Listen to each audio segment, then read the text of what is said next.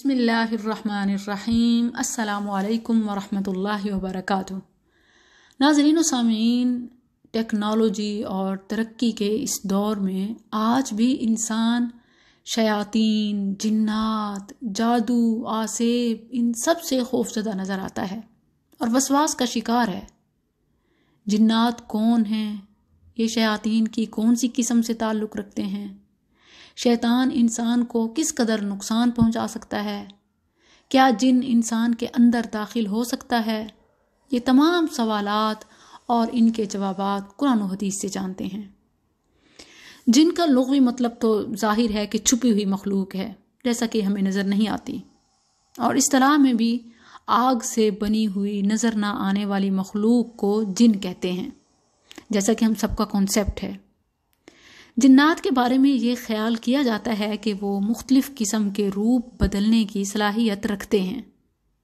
قرآن و حدیث میں جنات کا ذکر متعدد بار آیا ہے۔ قرآن کریم میں تو جنات کے نام پر ایک مکمل صورت ہے، سورہ جن۔ جنات میں سے جو نافرمان ہیں، انہیں شیاطین کہا جاتا ہے۔ ابلیس ان کا سردار ہے، جبکہ جو جن اللہ کے متی ہیں۔ فرما بردار ہیں، وہ قرآن بھی پڑھتے ہیں اور نبی صلی اللہ علیہ وسلم پر ایمان بھی لاتے ہیں۔ اور جس چیز کا انہیں پابند کیا گیا ہے، جو ان کی لمٹس ہیں، کہ وہ صحراؤں اور ویرانوں پر اپنا گھر بنائیں اور وہاں رہیں، انسانوں کی بستی میں آ کر انہیں تنگ نہ کریں، مسلمان جن ان احکامات کی پابندی کرتے ہیں۔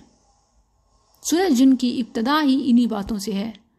قل اوحي الي انه استمع نفر من الجن فقالوا انا سمعنا قرانا عجبا۔ اے نبی صلی اللہ علیہ وسلم، فرما دیجیے کہ میری طرف واحش کی گئی۔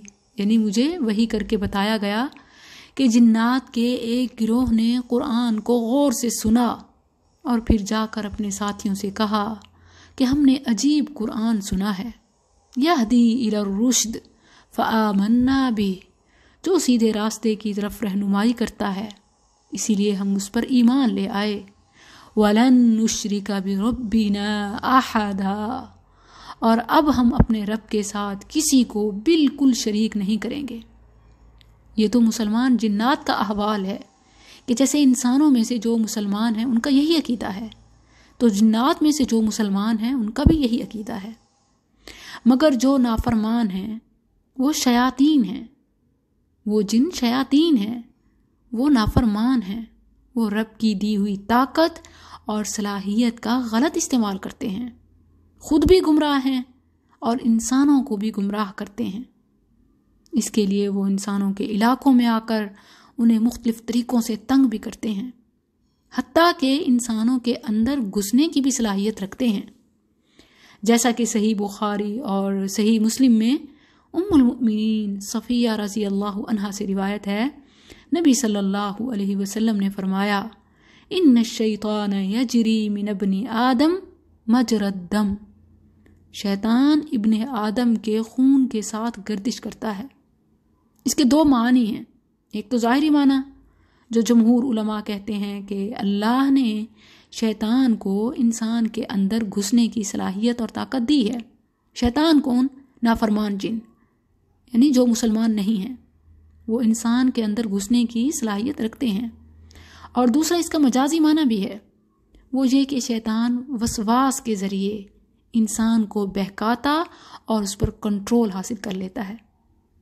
مگر ناظرین، یہ بات ہمیشہ یاد رکھیں کہ انسان کٹ پتلی نہیں ہے۔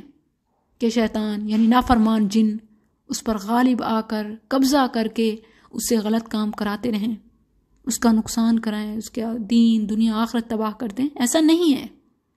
جیسے اللہ نے شیطانوں کو اختیار دیے ہیں، نافرمان جنوں کو، ویسے انسانوں کے پاس بھی اپنی حفاظت کے لیے دعائیں، صورتیں اور اذکار، وظیفے ہیں۔ یہ سب ہماری شریعت میں موجود ہیں۔ اب یہ ہماری کمزوری ہے کہ ہم شیطان کے لیے کھلا دروازہ خود رکھتے ہیں۔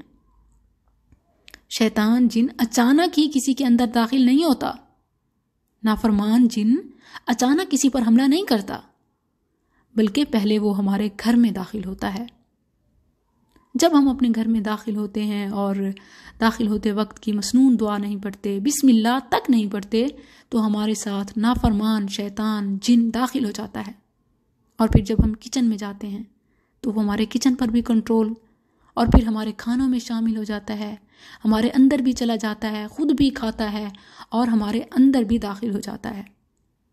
پہلے گھر میں داخل ہوا، پھر کچن میں، پھر کھانے میں شریک ہو جاتا ہے، حتیٰ کہ باتھ روم میں بھی نہیں چھوڑتا۔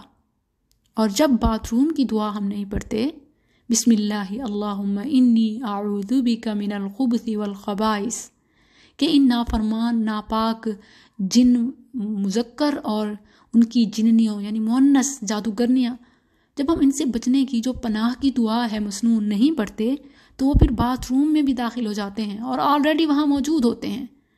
پھر وہ انسان کے ذکر یعنی شرمگاہ سے کھیلتے ہیں اور اس کے اندر شہوانی اور خبص پیدا کر دیتے ہیں۔ آج دیکھیں کہ کس طرح انسان انسان نہیں، بلکہ شہوت کا مریض بن چکا ہے۔ ہمارے منہ سے بھی شیطان ہمارے اندر داخل ہوتا ہے جب ہم بسم اللہ نہیں پڑھتے۔ جب ہم بسم اللہ پڑھ کر گھر میں داخل نہیں ہوتے، شیطان ہمارے گھر پر بھی کنٹرول پا لیتا ہے۔ حتیٰ کہ باتھ روم میں وہ زکر تک سے کھیلتا ہے۔ ہمارا سر سے پاؤں تک سب کچھ اس کے قبضے میں آ جاتا ہے۔ نافرمان جنوں کے، شیاطین کے۔ تو پھر یہ سارے راستے جنات کو آخر کس نے دیے؟ تو پھر دکھ اور پریشانی کس چیز کی؟ جب آپ خود اپنا بچاؤ نہ کریں، تو پھر وہ تو موقع کی طاق میں ہیں۔ ابلیس نے کیا وعدہ کیا تھا؟ کہ لَهُمْ صِرَاطَكَ الْمُسْتَقِيمِ۔ میں دائیں سے بھی آؤں گا، بائیں سے بھی آؤں گا، آگے سے بھی حملہ کروں گا، پیچھے سے بھی، اوپر سے بھی، نیچے سے بھی، حتیٰ کہ سرات مستقیم پر بھی انہیں نہیں چھوڑوں گا۔ تو ہم شیطان کو خود کھلا راستہ دیتے ہیں۔ حتیٰ کہ رات جو کہ شر ہے ایک تاریکی اس میں شیاطین کھلے ہوتے ہیں، وہ کچھ بھی کرتے ہیں، زیادہ با اختیار ہو جاتے ہیں۔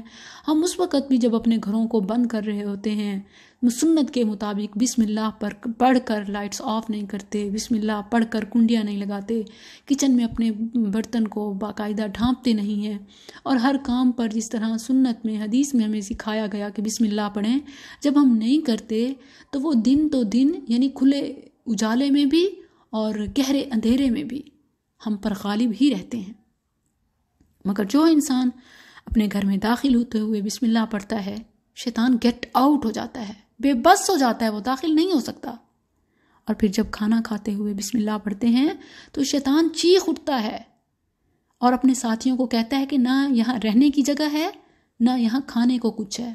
تو آؤ یہاں سے چلو، کہیں اور ڈھونڈتے ہیں شکار۔ اور اسی طرح حتیٰ کہ دیکھیں کہ بیڈ روم میں ہم بستری کے وقت جو دعا نہیں پڑھتا، شیطان نہ صرف زوجین پر بلکہ ان کی آنے والی نسل، اولاد پر بھی قبضہ کر لیتا ہے۔ ابھی وہ بچہ دنیا میں نہیں آیا، ابھی اس کا لائک ایک نطفے سے سٹارٹ ہے۔ تب ہی سے شیطان اس پر غالب آ جاتا ہے۔ لیکن جو دعا پڑھتا ہے، صحیح بخاری میں باقاعدہ باب ہے، التسمیہ حالا کل حال وعند الوقاء۔ ہر حال میں بسم اللہ پڑھنا۔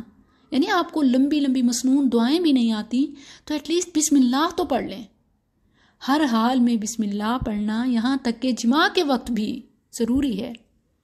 ابن عباس رضی اللہ عنما سے روایت ہے، وہ اس حدیث کو نبی صلی اللہ علیہ وسلم تک پہنچاتے تھے کہ آپ نے فرمایا، جب تم میں سے کوئی اپنی بیوی سے ہم بستری کرے تو کہے بسم اللہ اللہم جنبن الشیطان وجنب الشیطان ما رزقتنا۔ اللہ کے نام کے ساتھ شروع کرتا ہوں۔ اے اللہ، ہمیں شیطان سے بچا اور شیطان کو اس چیز سے دور رکھ جو اس ہم بستری کے نتیجے میں ہمیں عطا فرمائے۔ یہ دعا پڑھنے کے بعد جو اس ہم بستری کے نتیجے میں اولاد زوجین کے حصے میں آتی ہے، شیطان اسے نقصان نہیں پہنچا سکتا۔ تو اس حوالے سے جو خاص دعائیں ہیں اور مصنون اذکار ہیں، وہ انشاءاللہ نیکسٹ ایپیسوڈ میں آپ کو میں بتاتی رہوں گی۔ اسٹے ٹیون ود اس السلام علیکم ورحمۃ اللہ۔